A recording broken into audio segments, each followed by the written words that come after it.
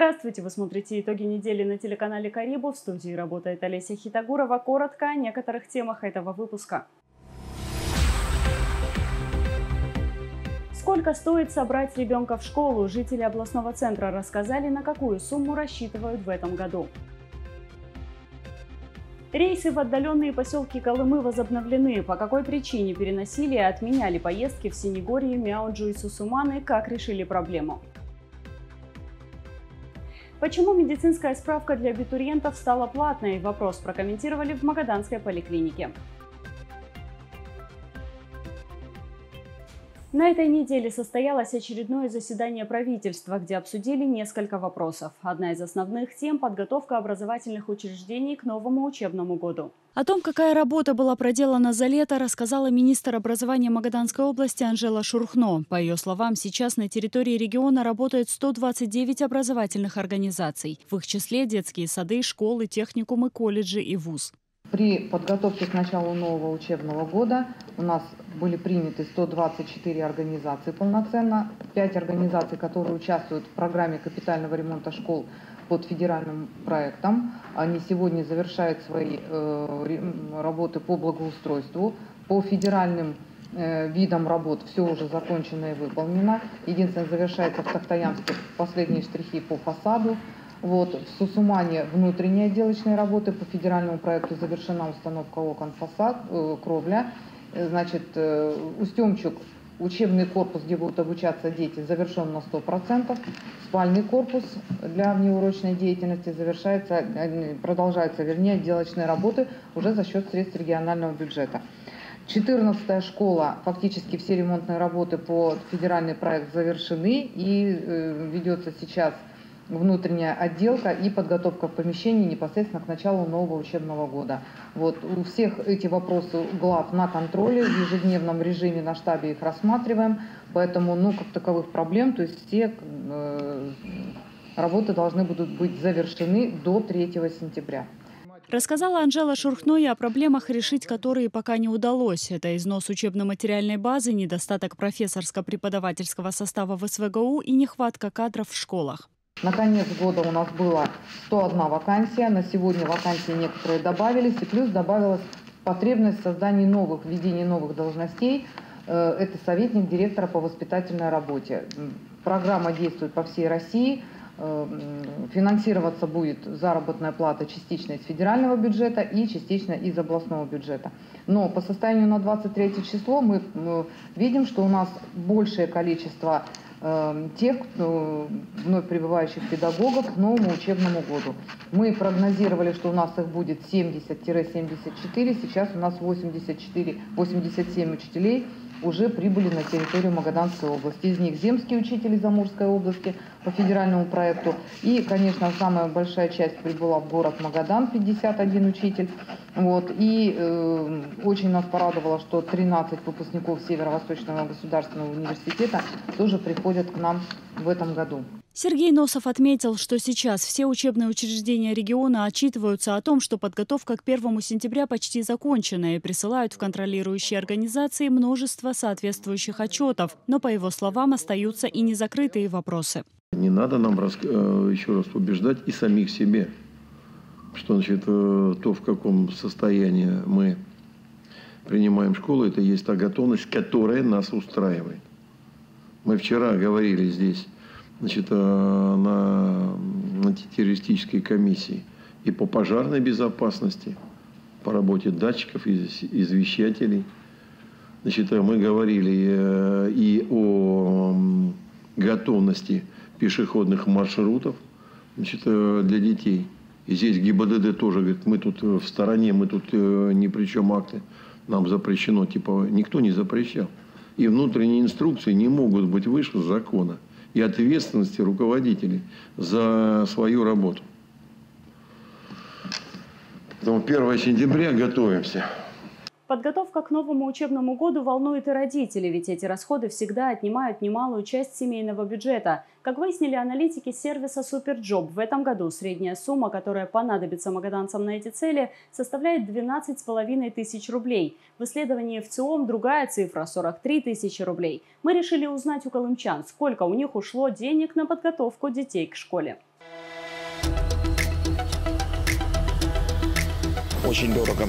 А, я вот сужу по своему сыну, а, ему в школу необходим а, соблюсти дресс-код и купить пиджак. Сыну 14 лет. Пиджак стоит самый минимальный 9 тысяч рублей. Вот. Это только один пиджак, не говоря уже про учебники, про необходимые там все сейчас школьные принадлежности. Вот. И жена, честно скажу, находится в таком легком шоке пребывает, потому что только пиджак 9. Мы уже еще и не закупали обувь, положенные брюки.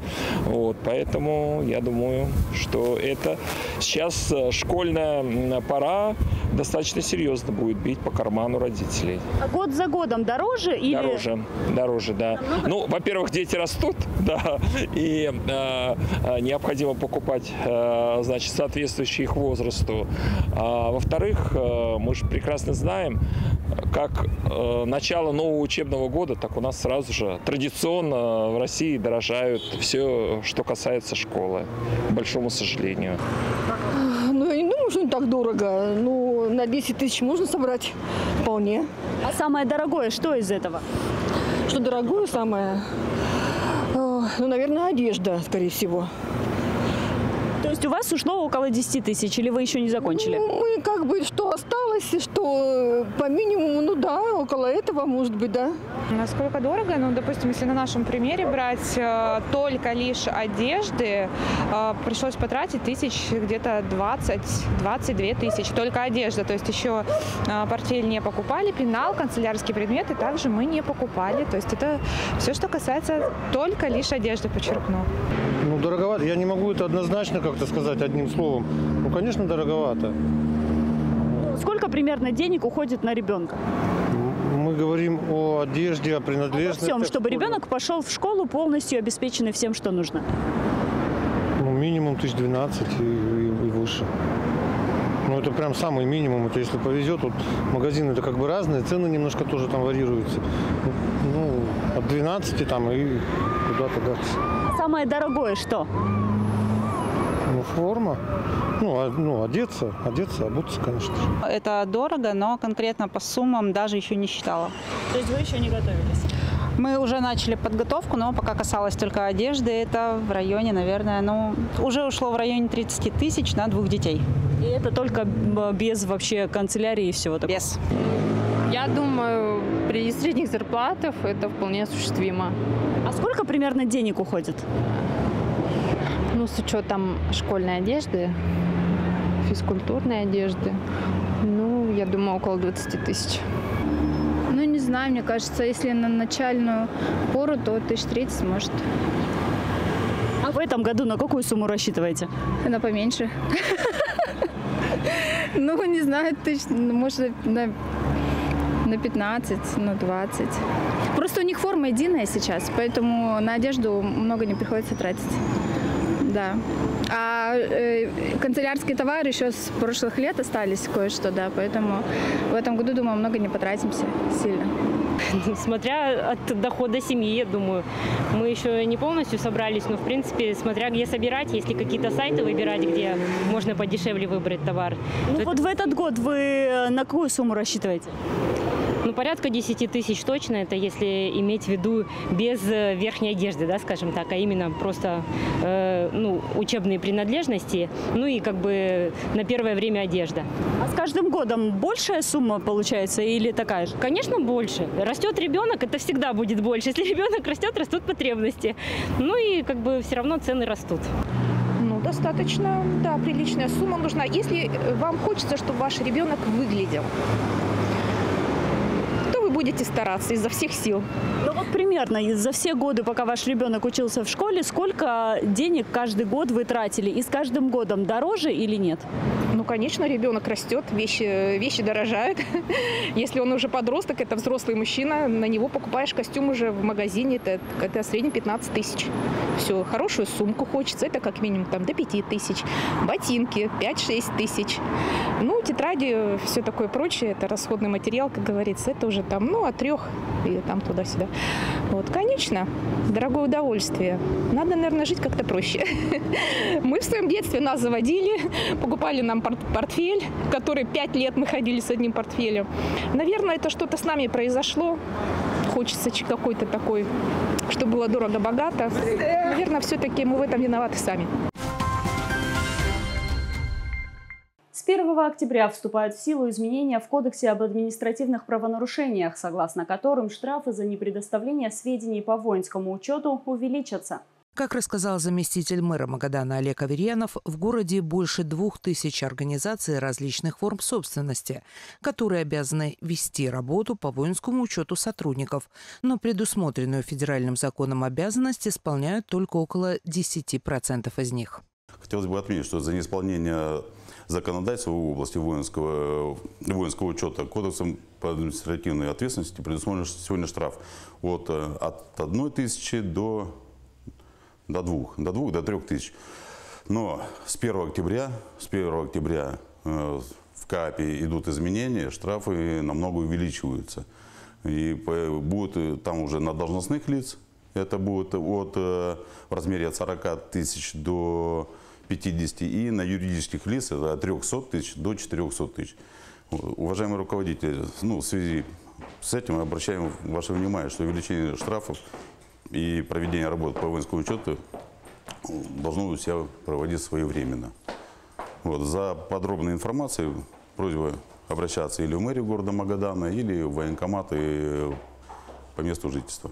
Одна из самых острых тем последних дней, вызвавшая волну негодования у колымчан – отмена рейсов в отдаленные населенные пункты, в частности в Мяунджу, Сусуман и Синегорье. По словам пассажиров, перевозчик не выполняет свои обязательства, из-за чего люди неделями не могут попасть в пункты назначения. Почему возникла эта проблема и смог ли кто-то ее решить, расскажем в следующем материале. Инна Баранчук не может неделю уехать из Магадана в Ягодное. По ее словам, объяснить, почему отменяют рейсы, все это время никто не может. Среди пассажиров обсуждают поломку двух автобусов, но официальных данных никто не предоставляет. Вообще добраться невозможно. Нигде, нигде информацию получить невозможно. Я не знаю, и я звонила и в диспетчерскую, и потом нашла телефон перевозчика. Тоже ничего не ответил, поэтому не знаю. Вот мы неделю не могли доехать в Ягодное. Слова Инны подтверждают и другие пассажиры. То же самое. Все то же самое. Мы на Ягодное не можем, с Ягодного не можем забрать э, ни детей, ни внуков. Багаж отказ. В маршрутке маленькие, они не берут с багажом. Вот. И каждый день вот эти вот препоны, препятствия с администрацией связывались. Бесполезно, никто ничего не знает. Когда это будет, то есть все это витает в облаках. Отменяли вначале на полчаса, потом на час, потом вообще отменили в субботу. В понедельник вообще ничего не шло. Вчера опять задержка, я ушла, потому что ждать сколько неизвестно. Не уехать и не приехать, но это вообще какой-то первый раз вот такой коллапс. Вот как их подставили вот эти маршрутки. И все, и на этом все закончилось. Я в июне месяце ездила сюда в больницу в первых числах. Я приехала нормально. Выписалась с больницы, прихожу, никаких объявлений, ничего. Спросила у диспетчера, когда будут автобусы. Их сняли с трассы. Я говорю, как? Я стою, у меня плохо даже сделать. Думаю, я домой ехать и не на чем. Давай обзванивать своих. Дали маршрутку, вот на маршрутке домой ехал за 2 800. А у меня бюджетные, это ветеранские, пришлось переплачивать. И сейчас, ну сейчас по бюджетному я еду. Так что вот как-то вот так вот. Очень плохо. Иной раз бывает с трассы, вот Синегорье, там откуда-то в автобусы все переполнены, наш поселок Аратукан проезжают. Мы остались как бы не удержаны. Да, бывало такое вот. По словам колымчан, проблема возникла две недели назад. И с тех пор никаких попыток ее решить, по крайней мере тех, что повлияли бы на ситуацию, перевозчик не предпринял. Поэтому с просьбой о помощи они обратились в компанию «Магадан Авто», осуществляющую рейсы по другим направлениям.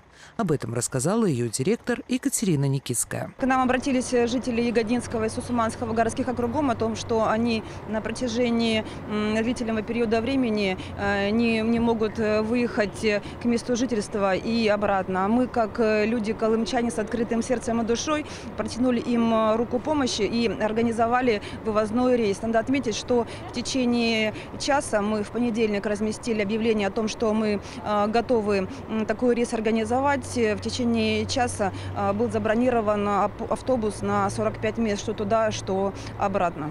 Мы посмотрим, если будет и дальше такая же проблема продолжаться, конечно, мы будем помогать нашим землякам. Нужно отметить, что сейчас сложился коллапс в сфере пассажирских перевозок, и люди стали заложниками амбиций двух людей, и о людях никто не думает. Они остались брошены со своей проблемой. Причем многие пассажиры приобретали билеты заранее, но увидев, что их рейса по сложившейся традиции опять нет, но едет коммерческий и комфортабельный автобус, сдали билеты и отправились на нем. Вчера тоже не было автобуса. Люди хотели уехать. Не было автобуса. Прождали до двух часов. И вы тоже стояли ждали? Нет, я не стояла, ждала. У меня сегодня просто должен был быть автобус. Поэтому вы решили поехать как? Куда вы Да, я еду на Дебин. Ситуацию прокомментировали в Министерстве транспорта. Там рассказали, что рейс отменяли только один раз. В субботу, 19 августа, по техническим причинам был отменен рейс Магадан-Снегория. Его выполнение было перенесено на воскресенье, 20 августа. По данному факту с подрядчиком ведется претензионная работа в рамках действующего государственного контракта. В настоящее время регулярные перевозки пассажиров по всем межмуниципальным маршрутам Магаданской области осуществляют согласно расписанию движения. В целом же, по словам Максима Оськина, отменные переносы рейсов в автоперевозках – явление редкое. Также он рассказал, что раньше, когда на этом маршруте работал другой перевозчик, такое тоже случалось, и каждый факт рассматривают индивидуально в рамках действующих контрактов. Представители компании, которая работает на этом направлении сейчас, в свою очередь отметили, что делают все возможное, чтобы исключить такие проблемы и в ближайшее время намерены пополнить автопарк. Уже закупили два 40-местных автобуса для поездок в отдаленные районы. Редакцию нашего телеканала обратились телезрители с просьбой узнать, почему справка для абитуриентов, которую требуют при поступлении в учебные заведения, вдруг стала платной. По их словам, раньше денег за нее не требовали, а сейчас медицинский документ стоит около 5000 рублей. В теме разбиралась наша съемочная группа.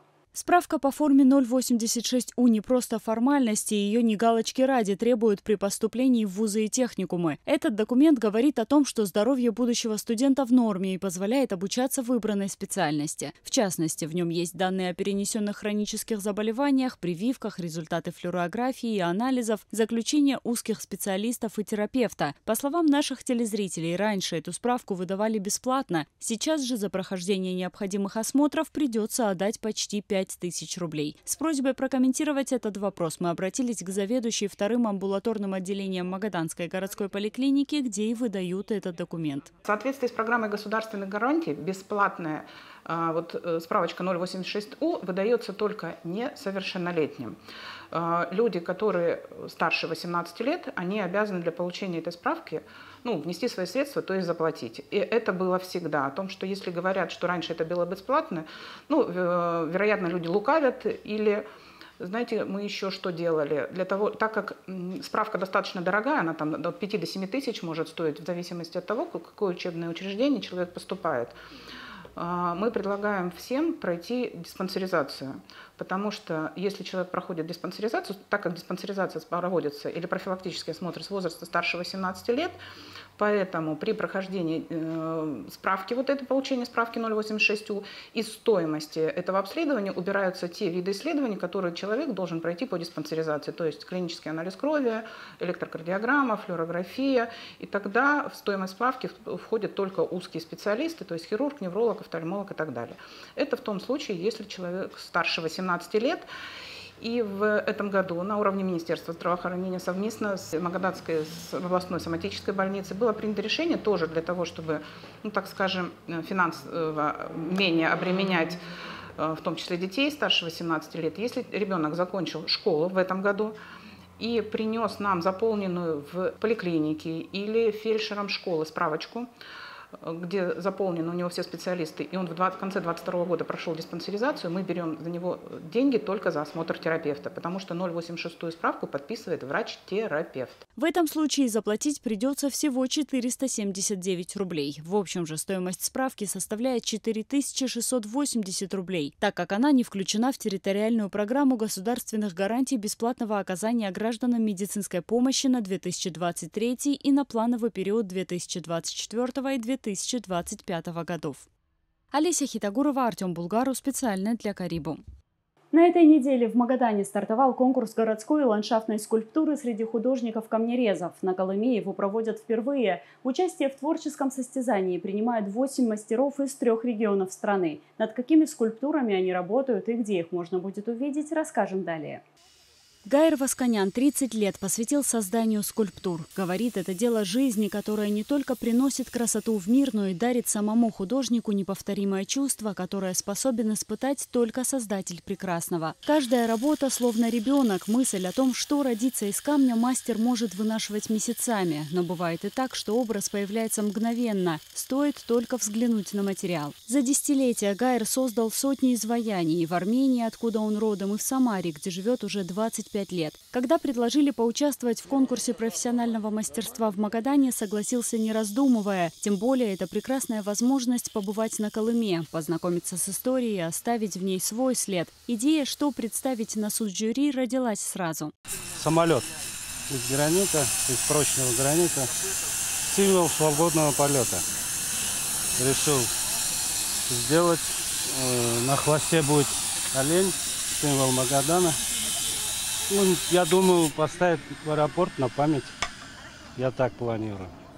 Ну, это не мое желание, просто так кажется поставить туда.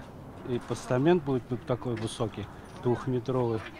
Э, при полете градусом, там 30 градусов поставить.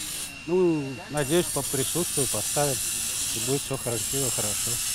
Я постараюсь удивить людей этим своим умением.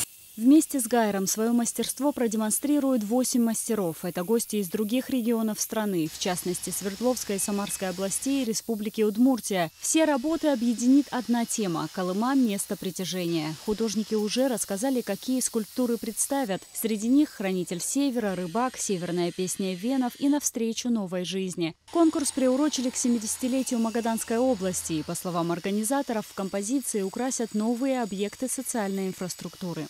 У нас э, в городе Магадане, на территории Магаданской области, возводится очень много объектов. Жилые дома, объекты культуры, спорта, здравоохранения. И поэтому возникла такая идея, э, чтобы у каждого нового объекта э, жилой инфраструктуры городского, э, в рамках городского ландшафта э, было какое-то об, общее объединение. И так и возникла идея, что это будут скульптуры из камня. И для этого были приглашены, был объявлен конкурс, приглашены художники, скульпторы, которые работают с камнем, э, были присланы в наш адрес эскизы, организована работа жюри, которая рассмотрела все эти эскизы, в итоге чего были отобраны 8 скульпторов, которые и были приглашены в Магадан для того, чтобы здесь, в сквере морском, э, начать ваять, творить и создавать свои прекрасные скульптуры. Их установят на территориях Центра премьер, нового перинатального центра, жилого комплекса Гороховое поле, аэропорта и других общественных пространств. Не состоялся бы конкурс без наших партнеров ООО «Магадан Гранит». Э, отличные ребята, которые с каждым скульптором индивидуально выезжали на карьер, выбирали камень, э, смотрели, кому что подходит, исходя из эскиза, обеспечивали их э, оборудованием для работы, палатками, всегда были на связи. Э, поэтому на наш взгляд, получилось, может быть, не все так, как мы планировали изначально, но результат он уже виден сегодня. Да? Мы видим, что работы, они уже подходят к своему завершению. И, конечно, жюри предстоит выбрать лучшую из них. Победитель получит денежный приз. Итоги конкурса подведут 29 августа. Олеся Хитагурова, Артем Булгаров специально для Карибу. В Магадане продолжает работать нордическая выставка. Теплую одежду выбрали уже сотни колымчан. И, по словам организаторов, одна из фирм, полюбившихся, пожалуй, большинству жителей страны и нашего региона в частности, Бьорн Ларсон. В чем преимущество товаров этого производителя, расскажем далее. Компания Björn Larsen – это ведущая компания, которая давно зарекомендовала себя на российском рынке как производитель очень теплых, а, легких пуховиков на сильные морозы. А, зарекомендовала на себя своим качеством, представляет о них большую линейку разных цветов, удлиненные, укороченные для водителей, удлиненные для женщин и даже экспедиционные варианты, которые ниже колена. Данные пуховики а, носятся от 0 до минус 50 градусов и внутри использованы высокие технологии именно материалов, которые позволяют эту вещь носить как в теплую погоду, так и до минус 45 и минус 50. В этой куртке идет карманов 13 э, штук, термоконтроль внутри куртки, который позволяет не создавать парникового эффекта внутри. А, все карманы глубокие, и самое главное, что эта вещь спокойно стирается в стиральной машине и не продувается и не промокает. А, ровно три месяца назад компания Björn Larsen, к сожалению, покинула российский рынок, и в России их больше нет. А, но нордическая выставка занимается тем, что довозит для дальних регионов именно теплые вещи. Она выкупила весь остаток товара в России, который у них оставался на складах, и распродает их по цене, приближенной к опыту. Поэтому та вещь, которая стоила в магазине 130 тысяч рублей, на мероприятие будет представлена за 30 тысяч рублей. Конечно, вниманию покупателей представлены и другие бренды. На выставке можно найти осеннюю и зимнюю одежду от ведущих производителей Северной Америки и Европы. Среди них аляски, пуховики, парки, шубы, пальто и кожаные куртки. Широкий размерный ряд и цветовая гамма позволят подобрать одежду любому посетителю и по очень привлекательной цене, которую удалось достичь благодаря ввозу через дружественные страны параллельным импортом а значит без наценок. В ближайшее воскресенье возможность приобрести качественную одежду организаторы нордической выставки предоставят и жителям поселка Ола. Гостей будут ждать с 10 утра до 7 вечера по адресу улица Советская, 51. Центральный вход справа от магазина «Магнит». Затем выставка вернется в Магадан. Официально компания «Союз импортеров» представляет свою выставку «Нордическая выставка» только в центральном универмаге города Магадан. То есть это площадь Горького 4, центральный универмаг, левое крыло. А, за всеми нашими передвижениями можно следить в официальной группе ВКонтакте. Ссылку на нее вы видите на своих экранах. Напоминаем, нордическая выставка ждет вас ежедневно с 11 до 19 часов. Сейчас немного информации о погоде, не переключайтесь.